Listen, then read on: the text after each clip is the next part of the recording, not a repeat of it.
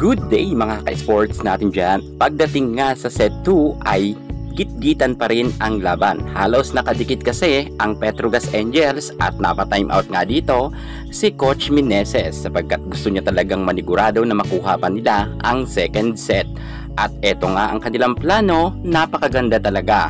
Muli niya ngang ipinabalik ang kanyang mga players sa loob ng court at dito na nga natin nakita ang angking kagalingan muli ng Creamline. Humataw nga sila pagkatapos ngang makadikit ng Angels ay napag-iwanan na naman sila bago nga magtapos ang second technical timeout.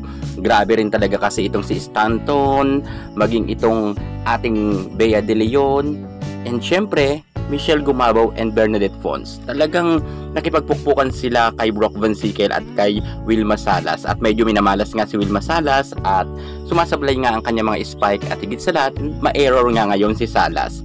Samantalang itong si Stanton ay maganda talaga ang ipinapakita niyang galawan sa loob ng court lalo na ang ating Michelle Gumabaw.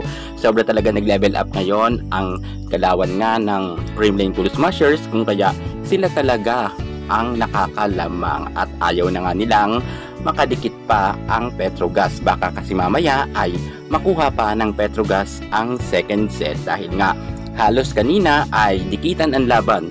Same scenario tayo mga ka-sports bago nga magtapos ang second technical timeout ay lamang na naman ang nasabi nating Creamline Cool Smashers.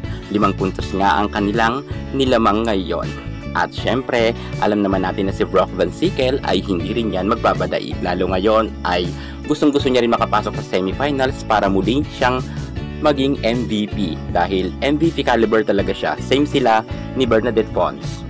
Nagtuloy-tuloy nga ang magandang nilalaro ng Creamline Cool Smashers maging si Bernadette Fons ay binakbakan niya nga pagdating sa duluhan na laban. Grabe ang pinuntos nga ni Bernadette Fons, ginawa niya talagang beach volleyball ang indoor volleyball.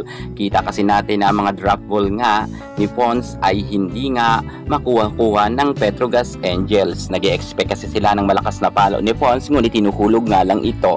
At dahil nga dito ay narattle talaga ang Petrogas Angels at nakalama nga talaga ng husto ang nasabi nating Creamline Cool Smashers at tinapos nga nila yan agad sa score na 19 at 25.